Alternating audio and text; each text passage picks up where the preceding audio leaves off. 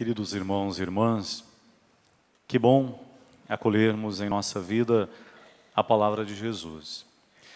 E o Evangelho de hoje traz ensinamentos tão importantes para o nosso coração.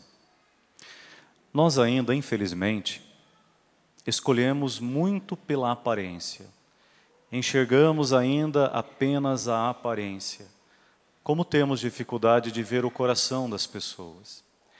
E justamente porque enxergamos só a aparência, a gente julga com facilidade, a gente condena, a gente exclui pessoas do nosso convívio e também já desistimos de amar muita gente. Então, no Evangelho hoje, Jesus mostra a importância de enxergar mais o coração das pessoas, o interior do outro. Assim, não vamos julgar e nem condenar com tanta facilidade. É bonito perceber que Jesus sempre enxergou o coração daqueles que dele se aproximaram. A escolha que Jesus faz dos doze apóstolos não é pautada pela aparência. Jesus não escolheu nenhum apóstolo porque eram pessoas virtuosas, ou muito capacitadas, ou muito santas, muito pelo contrário. Se nós olharmos a história de cada apóstolo, vamos ver que eles eram tomados de fragilidades, de pecados, como nós também somos tomados de fraquezas. Por isso no Salmo a gente rezava, né? Dai graças ao Senhor porque Ele é bom. Jesus escolhe a partir da sua bondade, não a partir das nossas virtudes. O amor que Jesus oferece não é porque nós mereçamos. O amor que Jesus oferece é porque nós precisamos. Então, este gesto bonito, quando Jesus escolhe Mateus. Nós, que temos facilidade de enxergar as pessoas unicamente do lado de fora, nós que com tanta facilidade, por não sermos bons e misericordiosos, descartamos pessoas, desistimos de pessoas, nós não teríamos escolhido Mateus para ser do nosso grupo de discípulos do Senhor. Mas Jesus o escolheu. O que levou Jesus a escolher aquele homem que ninguém conversava, que ninguém o convidava para tomar um café em sua casa, que ninguém nem mesmo o cumprimentava quando ele estava lá sentado na mesa de coletoria de impostos. O que levou Jesus a escolher Mateus para que ele também fosse discípulo? Porque Jesus enxerga o coração. Jesus sabe que os erros que cometemos na vida não são maiores do que o valor que a nossa vida tem. Todo mundo tem direito a recomeçar. Todo mundo tem direito a mudar a direção de sua vida. Todo mundo tem direito a aprender a amar de novo. Mas as pessoas aprendem a amar recebendo amor. As pessoas aprendem a amar recebendo amor. Muitos dos discípulos de Jesus eram pessoas criticadas pelos judeus, pessoas afastadas até mesmo de participarem do culto lá na sinagoga. Mas Jesus olhou para os discípulos e deu a eles amor. E por receberem amor de Jesus, eles aprenderam de novo a amar. É tão bonito o gesto do Cristo que se coloca diante de Mateus e o convida para ser discípulo. E Jesus vai à casa de Mateus. Casa não é só o lugar onde as pessoas moram. Ir na casa de alguém é dizer: Eu quero participar da sua vida. Talvez nós tenhamos perdido este bonito hábito de visitar as pessoas para participar mais da vida delas, tanto nas horas alegres como também nas horas tristes. Quando Jesus escolhe fazer refeição na casa de Mateus, ele está dizendo: Mateus, eu quero participar da tua vida, porque eu quero que você participe da minha vida também. Sentar à mesa com alguém não é só para partilhar um pedaço de pão ou um prato de comida.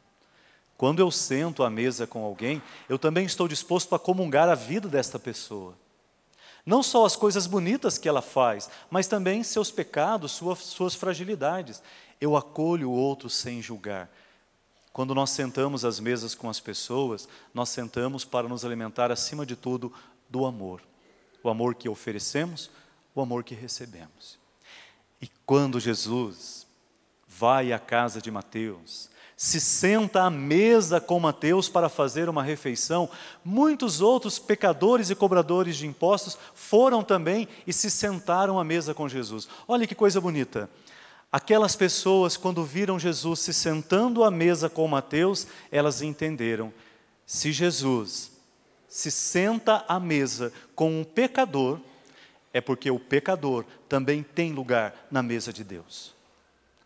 Se Jesus se sentou à mesa com os pecadores, é para ensinar que o pecador também tem um lugar na mesa de Deus. Porque somente quando nós nos alimentamos do amor misericordioso do Pai é que podemos fazer nossa vida ser diferente. Se não nos alimentarmos do amor, nós não temos força para sermos pessoas melhores e fazermos o melhor para o outro também.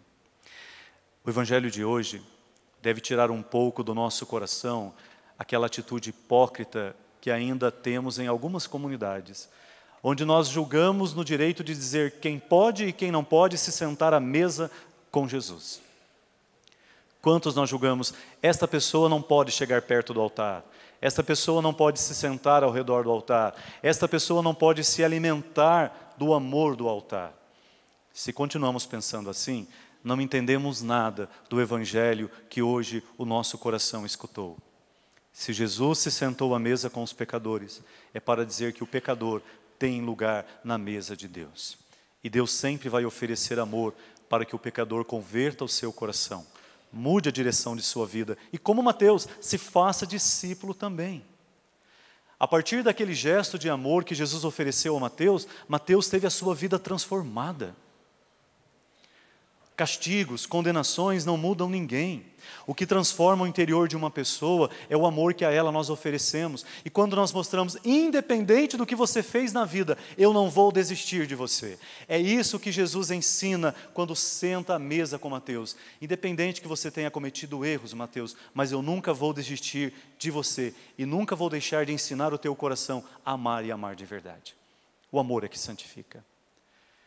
Que nós possamos então superar, às vezes, o nosso olhar, o nosso preconceito, a facilidade que temos de excluir pessoas da mesa de Deus, de afastar pessoas da mesa de Deus, porque nós as julgamos serem pecadoras e não serem merecedoras do Cristo. E Jesus vai dizer: Eu não vim para quem está com saúde.